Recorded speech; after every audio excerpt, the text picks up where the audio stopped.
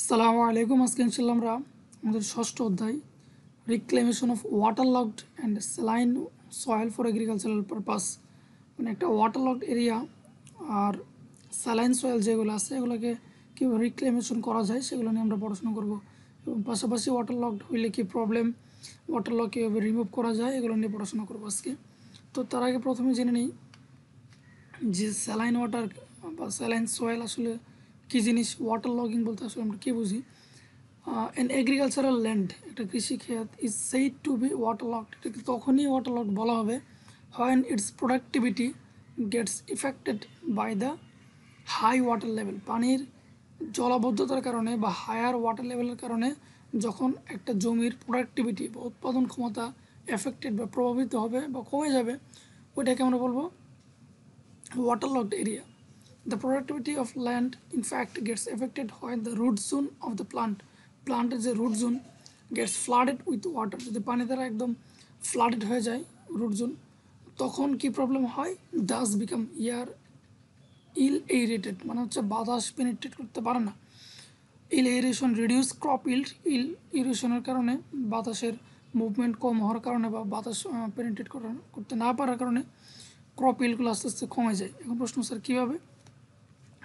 ধরেন the life of a plant in fact depends on the nutrient like nitrates আমাদের মাটিতে যে প্লান্টগুলো আছে বা ক্ষুদ্র মাইক্রো অনুজীবগুলো যেগুলো আছে, ওগুলা মাটির যে নাইট্রেট আছে, এগুলোর উপর ডিপেন্ড করে। And the form in which the nitrates are consumed by the plant is produced by the bacteria আর এই নাইট্রেটসগুলো কারা তৈরি করে? ব্যাকটেরিয়াগুলো under process call nitrification bacteria nitrification প্রসেসের মাধ্যমে নাইট্রাইট সাপ্লাই দেয়।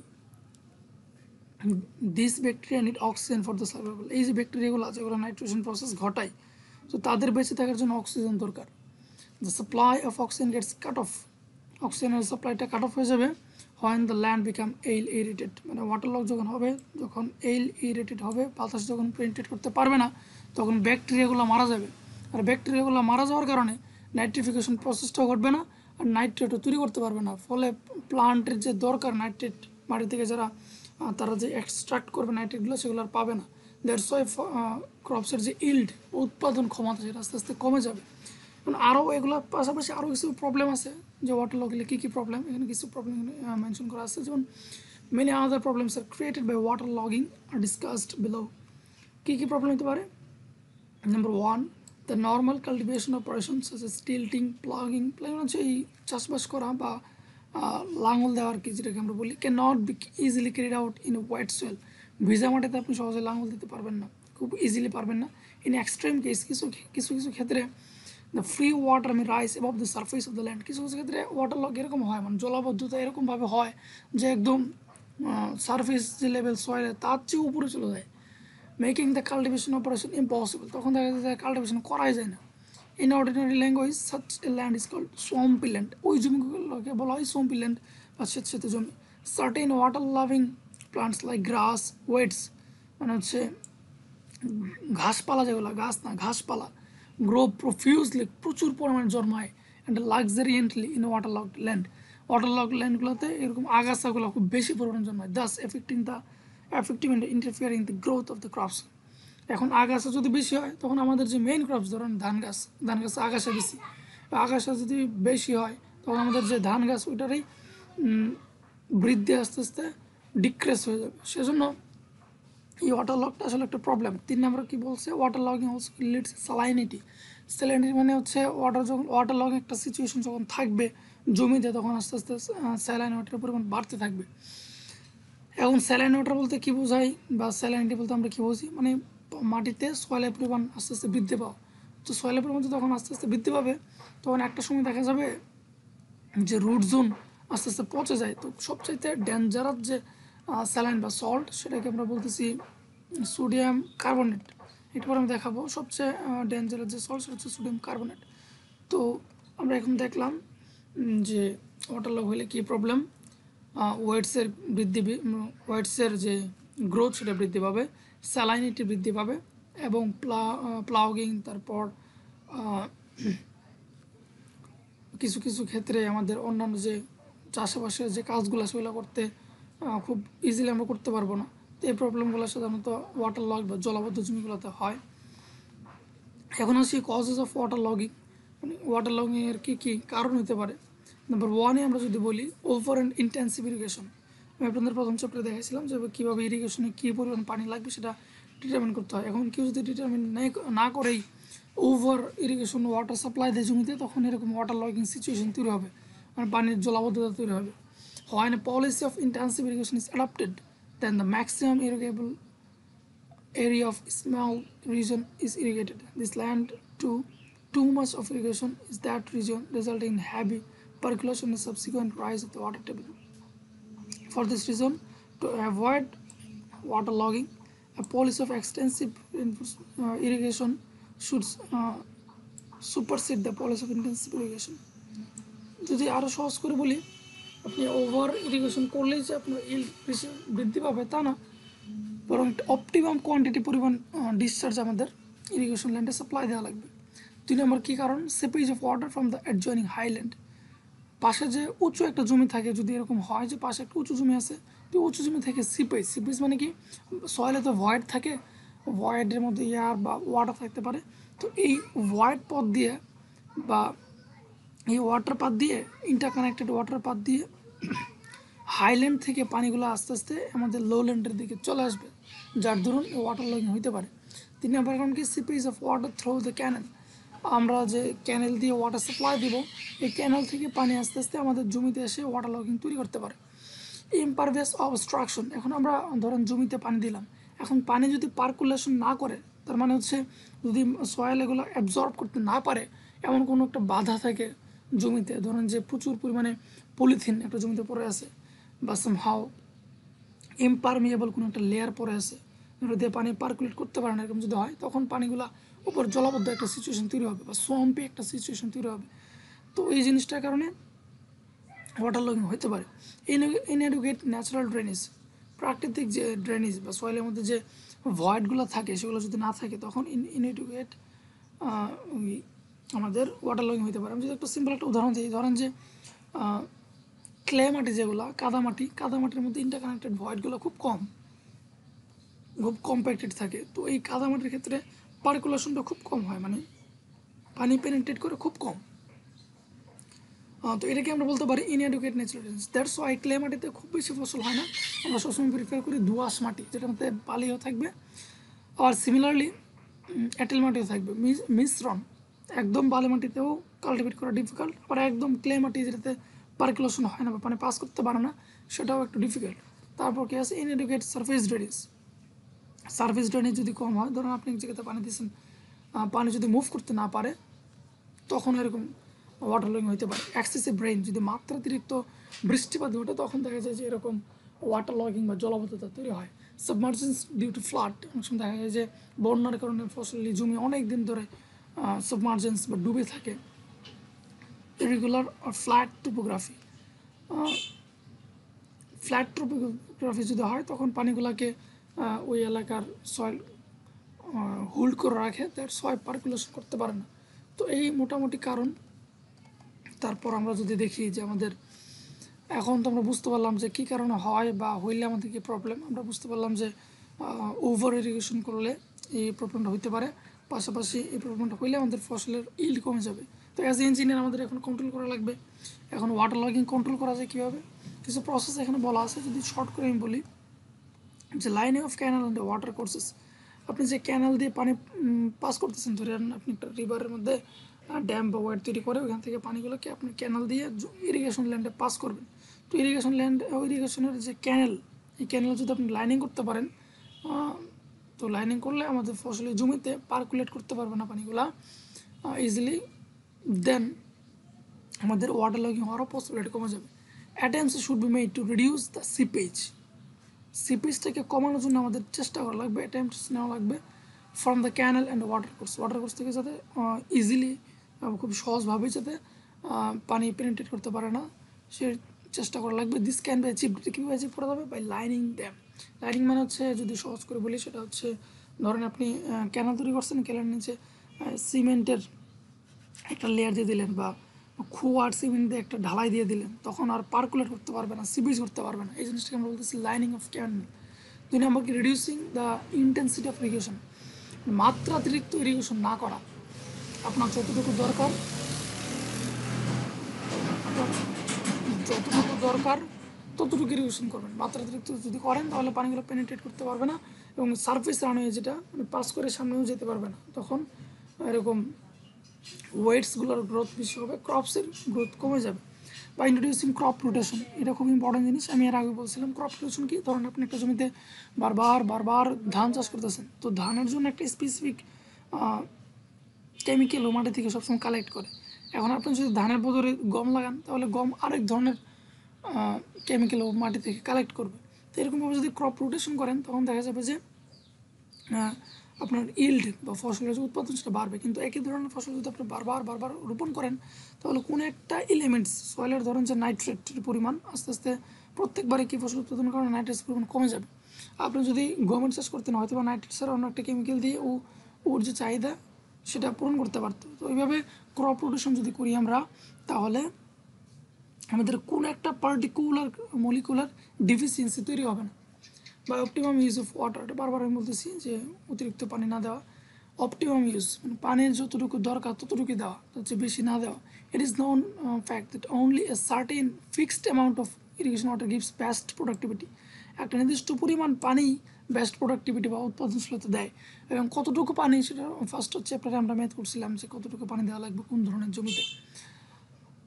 তারপর কি? বাই প্রোভাইডিং ইন্টারসেপ্টিং ড্রেনস ধরেন আপনি একটা জমিতে ইরিগেশন করছেন তো যদি ড্রেনিং না হয় বা পানিটা যদি পাস করতে না পারে তো ওয়াটার লগিং ডেফিনেটলি হবে। তো দ্যাটস ওয়াই আমাদের কী করা যেতে পারে? ইন্টারসেপ্টিং সো ড্রেনেজ আমরা আর্টিফিশিয়ালি প্রোভাইড করতে পারি। Intercepting drains along the canal should be constructed ever necessary যেখানে দরকার, আমরা সেখানে ইন্টারকানেক্টেড বা ইন্টারসেপ্টিং ড্রেনেজ দিতে পারি। This drains can intercept and prevent the seepage canal water from reaching the area likely to be water log যে জায়গাগুলোতে water lock হইতে পারে ওই জায়গাগুলোতে যদি আমরা ইন্টারসেপ্টিং ড্রেনেজ দিয়ে দিই, তাহলে পানিটা মুভ করে অন্য জায়গায় চলে যাবে।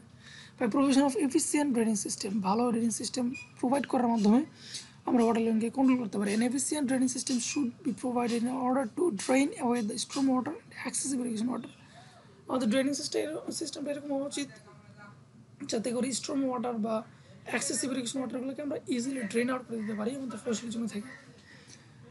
A good drainage system consists of surface drainage as well as subsurface drainage. মানে হচ্ছে মাটির উপর দিয়েও ড্রেনেজ হতে পারে, এরকম একটা ফেসিলিটি প্রোভাইড করা। পাশাপাশি মাটির ভেতর দিয়েও যাতে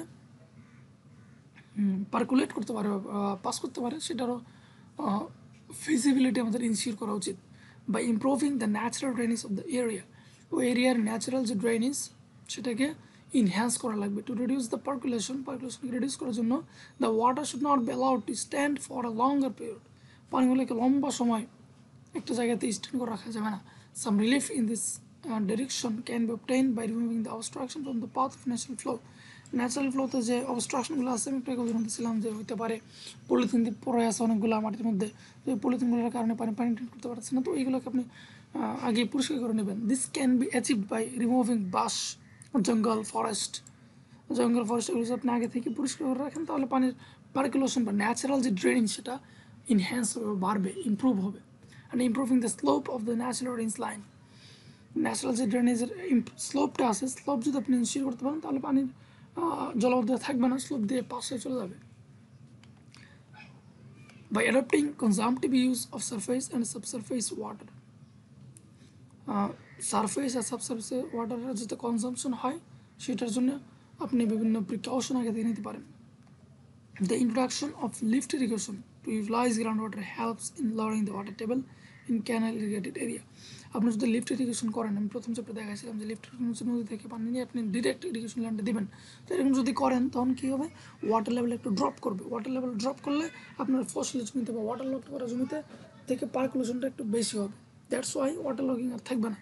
Hence the ground water should also be used in conjunction with canal water for irrigation as the continuous use of groundwater will not allow any appreciable rise in the level of water table due to continuous seepage of canal water. যেহেতু water table নিচে নেমে গেছে that's why আপনার যে water lock ওয়াটারটা আছে, সেটা আস্তে আস্তে পার্কুলেট করবে এবং সাবসারফেস সরি সারফেস ওয়াটার যেটা আছে, সেটা আস্তে আস্তে ড্রেন আউট হয়ে যাবে। এখন প্রশ্ন যে রিক্লেমেশন আমরা কীভাবে করতে পারি? Reclamation of saline alkaline land যে জমিগুলোতে লবণাক্ততা বেশি বা অ্যালকালিনিটি বেশি, সেগুলোকে আমরা কীভাবে উদ্ধার করতে পারি? রিক্লেমেশন হচ্ছে উদ্ধার করা বা রিইউজ করা। Reclamation is a process by which the unculturable land যে জমিটা আমরা কালচার করতে পারি না চাষাবাদ করতে পারি না মেড ফিট ফর কাল্টিভেশন যে জমিগুলোকে আমরা কাল্টিভেশন করতে পারি না, সেই জমিগুলোকে কাল্টিভেট করতে পারার যে সিস্টেম প্রসেস সেটাকে আমরা বলব? ল্যান্ড রিক্লেমেশন রিক্লেমেশন বাংলা অর্থ যদি বলি, উদ্ধার করা। মানে যে জমিগুলোতে আমরা চাষাবাদ করতে পারতেছে না, সেই জমিগুলোতে আমরা চাষাবাদ করব। এখন তার আগে জানা দরকার যে কোন ধরনের স্যালাইন বা কোন ধরনের লবণ সয়েলের জন্য খুব হার্মফুল আমি এটাকে বলছিলাম সেটা হচ্ছে সোডিয়াম কার্বনেট আর ব্ল্যাক অ্যালকালিকে যেটা আমরা বলি it's very harmful for soil টমাটোর জন্য খুব খারাপ।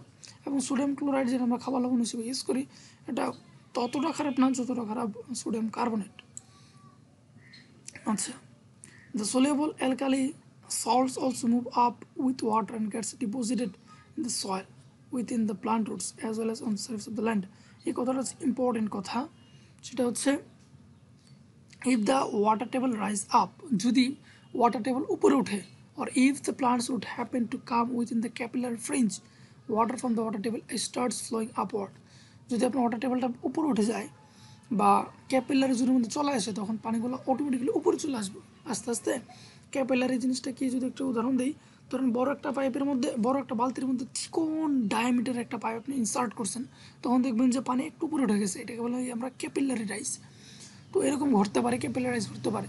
তো এরকম ক্যাপিলারাইজ ঘটলে যে শুধুমাত্র পানি উঠবে তা না, পানির সাথে আবার লবণ উঠবে। The soluble alkali salt also move up with water তখন পানির সাথে এই লবণগুলো উঠবে and get deposited in the soil তখন পানি যখন উপরে উঠবে তখন দেখবেন যে ইভাপোরেশন বা সূর্য তাপের কারণে পানিগুলো একটা সময় হয়তো বা বাষ্পায়িত হয়ে যাবে, কিন্তু লবণ কিন্তু বাষ্প হবে না। তখন লবণটা রুট জোনের মধ্যে এবং সয়েলের মধ্যে থেকে যাবে। গেট ডিপোজিটেড ডিপোজিটেড হয়ে যাবে in the soil with in the plant roots plant রুটের মধ্যে ডিপোজিটেড হয়ে যাবে as well as on the surface of the land this phenomenon of the salts coming up in solution and forming a thin crust crust layer in the surface একটা আস্তরণ crust মানে আস্তরণ on after after the evaporation of water is called efflorescence এই যে পানি যখন evaporation হয়ে যাবে, তখন লবণগুলোকে বের হয়ে চলে আসার নাম হচ্ছে ইফ্লোরিসেন্স অনেক সময় ভাই ভাতা ধরে, যে ইফ্লোরিসেন্স কী জিনিস? ইভেন অনেক সময় যখন আপনি প্লাস্টারিং করবেন, দেখবেন যে প্লাস্টার করার পর সাদা সাদা দানাদার কী যেন দেখা যাচ্ছে। তার মানে হচ্ছে আপনি স্যালাইন ওয়াটার এখানে ইউজ করছেন। তো স্যালাইন ওয়াটার ইউজ করার কারণে পানি হয়তো বা একটা সময় অ্যাবজর্ব হয়ে গেছে, কিন্তু লবণ থেকে গেছে, লবণগুলো আস্তে আস্তে বের হয়ে আসে। এগুলোকে বলে আমরা ইফ্লোরিসেন্স সাদা সাদা দানাদার দেখা যায়। তো এখন প্রশ্ন, স্যার, এগুলো স্যালাইন ওয়াটারগুলো কীভাবে আমরা কী করব? তো এটা দেখার জন্য আমি যদি একটা ম্যাথ দেখাই, হয়তো আপনাদের জন্য সুবিধাজনক হবে। তো ফার্স্ট প্রসেসটা হচ্ছে লিচিং লিচিং কি জিনিস? ইন দিস প্রসেস এই প্রসেসে the land is flooded with adequate depth of water ল্যান্ডটাকে যথেষ্ট পরিমাণ পিওর পানি দিয়ে আপনি ইনআন্ডেটেড ইনআন্ডেটেড বা ফ্লাডেড করে দেবেন। The alkali salt present in the soil get dissolve in the water তখন কী হবে? আপনার মাটিতে যে সয়েলগুলো মাটিতে যে সল্টগুলো আছে এগুলো পানির সাথে মিশে যাবে। We percolate down to join the water table or drain out by surface and subsurface drains যখন এই সয়েলগুলো পানির সাথে মিশে যাবে, তখন সাবসারফেস বা মাটির নিচে দেয় এবং উপর দিয়ে এগুলো পার্কুলেট করে করে আস্তে আস্তে সলগুলো কমতে থাকবে। The process is repeated till the salt in the top layer of land reduce to such extent that some salt resistant crop can be grown তো এই প্রসেসটা যখন আপনি করতে মানে করতে থাকবেন, আমি যদি সহজ করে বলি যে ধরেন আপনার এখানে লবণ আছে আপনি বেশি করে পানি দিলেন, তখন কী হবে? লবণের সলিউশনটা আস্তে আস্তে হালকা হবে হালকা হবে এবং পানিগুলো আস্তে আস্তে সাবসারফেস অথবা পানির সয়েলের উপর দিয়ে আস্তে আস্তে ড্রেন হইতে থাকবে। এরকম যত যত বেশি পানি দিতে থাকবেন, তো আস্তে আস্তে লবণগুলো আস্তে আস্তে আপনি সরতে থাকবে। তো এইভাবে সরতে সরতে একটা সময় আসবে যে লবণের পরিমাণ খুব কমে যাবে, তখন আপনি ফসল কাল্টিভেট করতে পারবেন। এই কথাটা বলা আছে। The process is repeated till কতক্ষণ চলবে till the salt in the top layer of the land are reduced to such an extent that some salt resist crop can be grown কিছু সল্ট রেজিস্টিং ক্রপ তখন জন্মাতে পারবে this process known as the leaching এই প্রসেসটাকে বলা লিচিংটা খুব important question যে lynching কি তারপর আমরা যদি দেখি লিচিং রিকোয়ারমেন্ট এত কিছু বললাম না। জাস্ট একটা ম্যাথ দেখলে আশা করি সবগুলো ক্লিয়ার হয়ে যাবে। ইন অর্ডার টু মেনটেন স্টা status quo on the salinity of, uh, of given soil and to avoid any further increase in the salinity পরবর্তীতে আরও পরিমাণ যাতে স্যালাইনিটি না হয় প্লবনচ্যুত বৃদ্ধি না পায় it is necessary to apply water to the soil in excess to the consumption consumptive use মানে কনসামটিভ ইউজ যতটুকু করবে তার চেয়ে বেশি পরিমাণ আমাদের ওয়াটার দেওয়া লাগবে। কেন দেওয়া লাগবে? যাতে করে আমাদের যে সয়েল অলরেডি সল্টেড হয়ে গেছে বা লবণাক্ত হয়ে গেছে সেটা আস্তে আস্তে ডিজলভ করে দিতে পারে আস্তে আস্তে রিডিউস করে দিতে পারে। তো এই যে যতটুকু পানি আমি দিব ওটাকে আমি বলতেছি ডিআই ইকুয়াল টু কি? কনসামটিভ যতটুকু, ততটুকু তো দেওয়াই লাগবে আমার। মানে রোড জন্য ততটুকু তার ইলিংয়ের জন্য বা গ্রোথের জন্য যতটুকু লাগবে, ততটুকু তো আমি দিবই। পাশাপাশি আমার লিচিং করার জন্য ডিডি পরিমাণ আরও এক্সট্রা কিছু পরিমাণ পানি দেওয়া লাগবে। সেই পানির ডেপথটাকে আমরা বললাম ডিডি যেটা ড্রেন আউট চলে যাবে।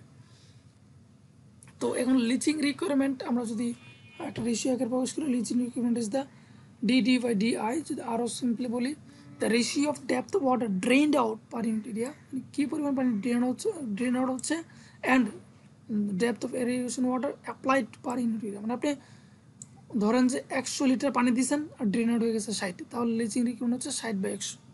আশা করি বুঝতে পারছেন।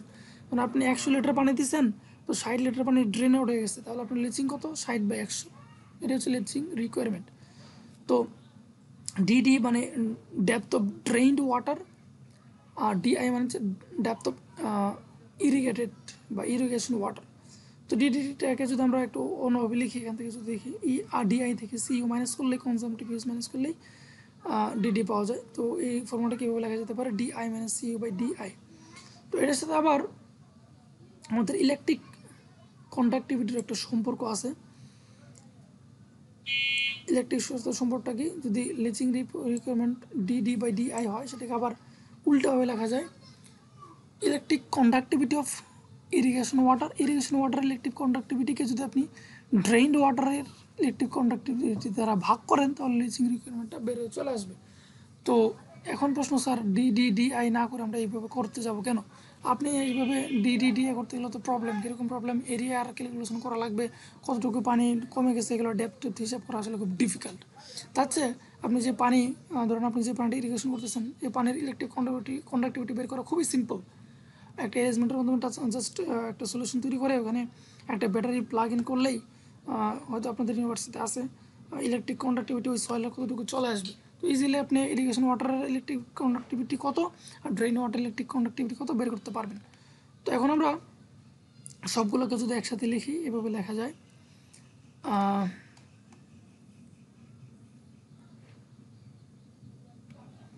leaching requirement equal to depth of drain water by depth of irrigated water আর অথবা electric conductivity of irrigation water divided by electric conductivity of drain water তো এই ড্রেন ওয়াটার ইলেকট্রিক কন্ডাক্টিভিটি আবার স্যাচুরেশন সয়েল এক্সট্রাক্ট এর electric electric conductivity double তো সেজন্য আমরা two EC দিয়ে লিখতে পারি। তো একটা ম্যাথ যদি করি আমরা যে আমাদের লিচিংয়ের জন্য কি পরিমাণ ওয়াটার আমাদের বেশি অ্যাপ্লাই করা লাগবে একটা জমিতে বা সল্ট ধরুন যে জমিতে আছে। এখন এই সল্টটাকে আমি অ্যাজ ইঞ্জিনিয়ারের জন্য আমার কাছে আসলো স্যার, এখানে তো লবণ বেশি, এখানে জমি চাষাবাদ করতে পারতেছি না। রেক্লেমেশন করা দরকার বা জমিটাকে আমরা ইউজ করতে চাচ্ছি, তখন আপনি কী করবেন বা কতটুকু পানি দেবেন সেটার একটা ক্যালকুলেশন এখানে করা আছে। Estimation estimation, the leaching requirement, when electric conductivity, value of a saturated extract of soil 10 millimole per centimeter. Saturated extract of soil মানে হচ্ছে, আমরা যদি দেখি ECE electric conductivity of extract water এটা ইলেকট্রিক কন্ডাক্টিভিটি ইসিই এর value দেওয়া আছে। At 25% reduction in the yield of a crop. The electric conductivity of the irrigation water is 1.5 millimole per centimeter.